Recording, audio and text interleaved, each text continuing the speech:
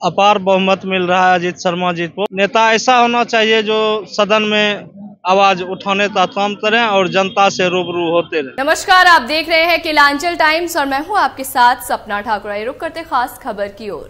नवगछिया प्रखंड के उप प्रमुख गौतम कुमार ने महागठबंधन प्रत्याशी अजीत शर्मा के संबंध में क्या कुछ कहा? आइए आपको भी सुनाते हैं। देखिए अजीत शर्मा के समर्थक में समर्थन में ये लोग पहुँचे हैं यहाँ पे और क्या कुछ बोलना चाहते हैं और किस तरीके का जनता का जो है वो प्यार मिल रहा है और किस तरीके से जनता सपोर्ट करे उसके बारे में बात करते हैं। सर क्या नाम हुआ?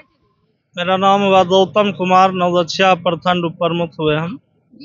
आ, क्या लग रहा है किस तरीके का देख रहे हैं समर्थन अजीत शर्मा को?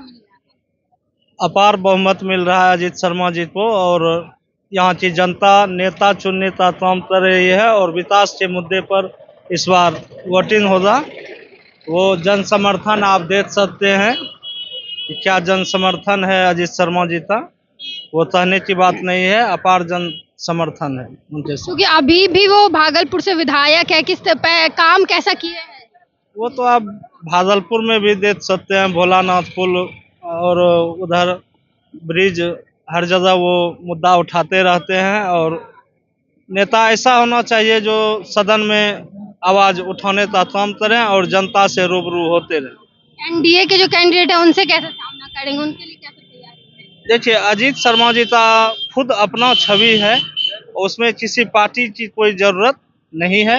अजीत शर्मा खुद अपने बल पे भी उतना उनका है छवि कि कोई दिक्कत नहीं है भागलपुर ज़िले में। वोट मिले या वही जीत कर यहाँ पे भागलपुर की जनता नहीं पूरे देश की जनता मन बना चुकी है कि ये महागठबंधन की सरकार बनेगी। दस सालों में जनता देख चुकी है मोदी सरकार किस तरह से जो है लोगों को ठग रहा है महँगाई चरम पर है बहाली नहीं निकल रहा है कैंसिल हो रहा है।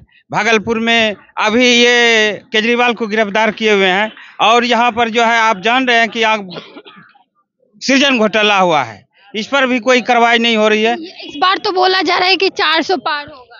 वो 400 क्या? वो चार भी पार नहीं होगा। भारत की जनता यदि चाह लेगी अब मोदी का जो है वो ड्रामा देख लेगा ना तो वो चार सीट भी पार करना मुश्किल हो जाएगा। आपको बहन जी पता होगा कि हुंकार रैली में ब्लास्ट हुआ था।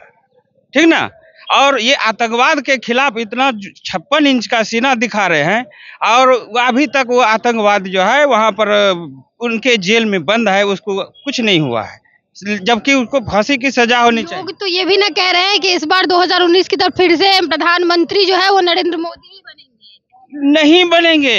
कैसे बनेंगे? जान ले आप लोगों के माध्यम से जब सूचना जाएगा ना कि आतंकवाद उनको मारने के लिए आया था नरेंद्र मोदी को मारने के लिए आया था पटना के गांधी मैदान में और यहाँ ब्लास्ट हो गया फिर भी वो एयरपोर्ट से जो है गांधी मैदान प्रवेश कर गए। इससे आप साफ़ ज़ाहिर होता है कि क्या सेटिंग चल रहा है। यहाँ पे जो एनडीए गठबंधन के जो कैंडिडेट है सांसद भी है उनसे कैसे सामना करिएगा उनसे सामने है वो एनडीए का मतलब तो हम लोग यही जान रहे हैं कि ये नेशनल डिफोल्टर एजेंसी के कैंडिडेट है। एनडीए का मतलब नेशनल होता है। हाँ हाँ। ये मोदी जी भी निकालते हैं राजद का कांग्रेस का आम आदमी का तो इसलिए मैं भी निकाल रहा हूँ नेशनल डिफोल्टर एजेंसी।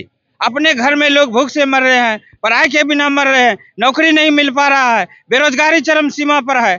और अब ये संपर्क सरकार में नौकरी देखिए रेलवे क्या देखिए और सब स्टेट में हर अजीत शर्मा जी का किस तरीके से देख रहे हैं? अजीत शर्मा जी ये बहुत अच्छे इंसान हैं और पढ़े लिखे हैं और आप सब लोग जान रहे हैं और अजय मंडल जो है, उनको भी देख रहा है कि सदन में ये क्षेत्र का मुद्दा किस तरह से उठाए हैं। अजीत शर्मा जी भागलपुर के विधायक रहते हुए और ये गोपालपुर विधानसभा में आकर के जो कटाव पीड़ित वाला लोग है, उनके लिए उन्होंने जब इनकी नीतीश जी की सरकार बनी तो उन्होंने प्रयास किया तो आज उनको घर मिला हुआ है।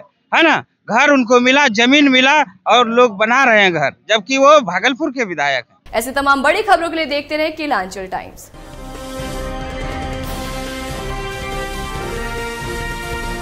केलांचल टाइम्स, हर खबर पर हमारी नज़र।